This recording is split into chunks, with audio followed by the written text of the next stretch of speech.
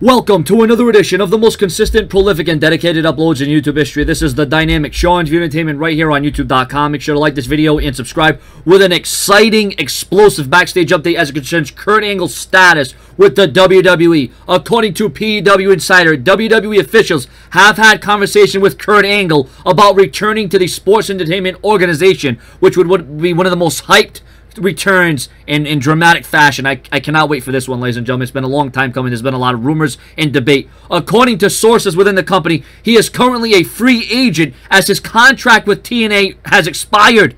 One source claimed that Angle declined a full-time contract from WWE since he feels that his body would not be able to handle a full-time touring schedule. Well, hey, he can do what Brock Lesnar's doing, The Rock, Rob Van Dam. Why can't Kurt Angle be a part-timer too? Because Kurt Angle can still bring it like the best of them.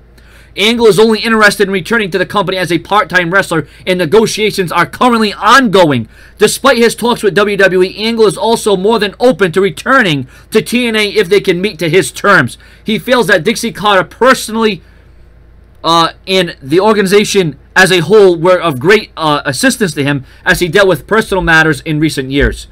Uh, on 2000 in 2006, uh, August 25, Angle was released from his WWE contract due to health reasons, and he debuted for TNA the following month. Angle stated in the 2008 documentary, Kurt Angle Champion, that he requested his contract uh, released from WWE because he couldn't take time off and was working hurt severely on some occasions.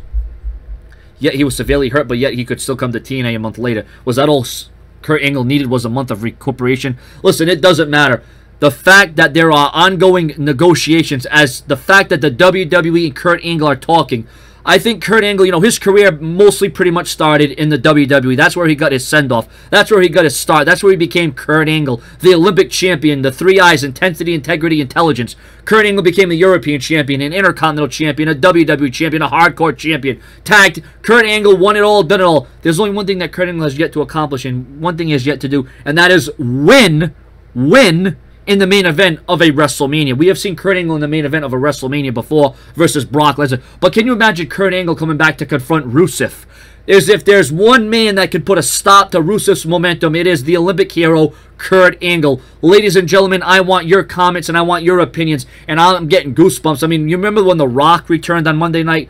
Now, I might not get the same feeling that I got with The Rock, that I get with Kurt Angle. I might get a different vibe. I might get a different feeling. But still, I would be marking the hell out to see Kurt Angle return to where he belongs, and that is the WWE. And then in from there, Kurt Angle can join the very elite WWE Hall of Fame because, truth be told, Kurt Angle is one of the greatest mat, techni- mat technicians. He's one of the greatest scientific wrestlers of all time. Hell, Kurt Angle is one of the best, finest pro wrestlers in the history of professional wrestling in the annals of time. He ranks up there with the likes of an Eddie Guerrero, uh, uh, a Ric Flair, a Bret Hart, um, you know, a Christian. The list goes on and on of what Kurt Angle represents and what he brings to the table. And even though he's a little bit older, I think Kurt Angle could still bring something to the WWE in ways that we haven't seen in a very long time. Subscribe with your comments, your opinions. Later.